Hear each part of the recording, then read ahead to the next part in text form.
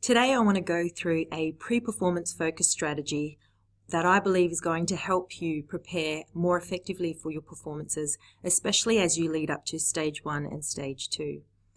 This um, strategy comes from the Bulletproof Musician, otherwise known as Dr. Noa Kageyama. And he has developed his work or extended his work from um, Dr. Don Greene, who did a whole heap of performance psychology, psychology for uh, athletes, and it has been developed and adapted for um, musicians. Why do we need a strategy such as this? Why can't we just dive off the deep end and you know dive into a performance? Why do we need to think about um, how we're going to perform? Well, firstly, uh, Dr. Kageyama points out the difference between control versus comfort. And um, did you realize that you think about 48.6 thoughts a minute?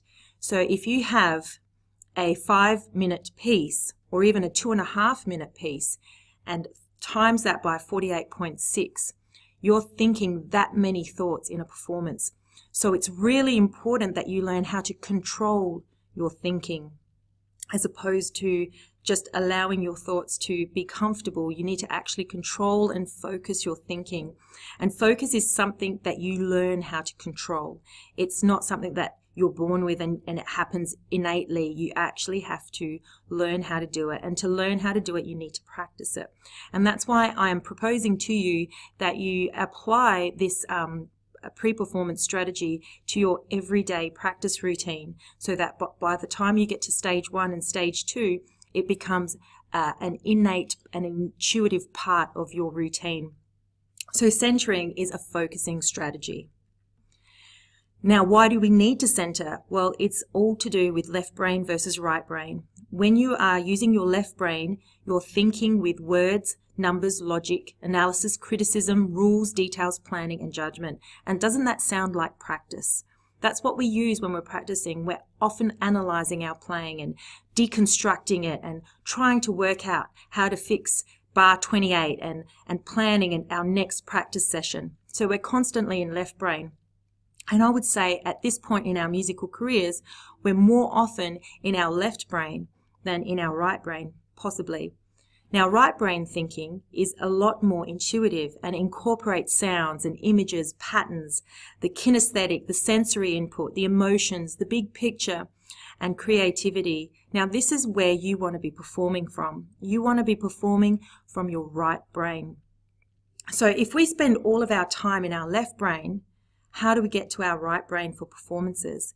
And that's why I'm proposing that you incorporate this strategy into your practice routine so you learn how to flip from left to right so that way in a performance you're um, performing from your right brain. So centering. At first this is going to take a few minutes to do but over time as you get more effective and efficient at it it'll take a few seconds. And oftentimes I use this while I'm performing. If I've uh, made a mistake or if I'm sight reading and I need to stay calm, I will quickly flip to doing uh, this centering process to calm myself down and to keep my mind open. So what you'd like to do is um, select a focal point and something that's either your eye level or slightly below and um, the reason why you do that is that if you're using your left brain, if you're thinking, you're more likely to be going, hmm, and you would look up and that would engage your left brain. But you want to engage your right brain. So you're better off just keeping your eyes straight ahead or slightly down in order to engage that right side of your brain. The next thing is to form a clear intention. This needs to be specific and um, assertive and determined. So you don't want to say something like, I hope I will play the dynamics well. You want to be saying, I will play the dynamics well. I will, uh, I will communicate the dynamics with the proper intention. It needs to be a really strong affirmative statement. Even if you don't believe it deep down inside of you, you need to speak it. You need to say it and you need to focus your um, uh, bring all your focus to that statement. So you need to think about what's your goal for this performance? What's really, really important to you in this particular piece that you're playing? Because every piece that you play will have a different um, angle that needs to uh, happen in a performance for that piece to be communicated effectively. So if it's romantic and you want it to flow beautifully and you want those dynamics to be in there, then you're going to think along those lines. If it's um, it needs to be mathematical and, and absolutely exec, um, executed with mathematical precision, then you're going to be thinking about those rhythmic subdivisions. So form a very clear intention. Even if deep down inside of you, you don't believe it, you need to speak it nonetheless. The third step is to breathe mindfully. What can happen when you feel a bit nervous, and this would happen a lot to singers, is that you would breathe very shallowly and at your chest level, right? This is a little bit of a panic mode. Instead of that, you need to breathe using your diaphragm, diaphragmatic breathing. And that's when you're breathing really deeply. And what I do normally is I breathe in with my diaphragm and I kind of hold it and then I gently breathe out through my mouth. So I breathe in through my nose and I let my whole body um, fill up like a balloon and then I control it as it comes out.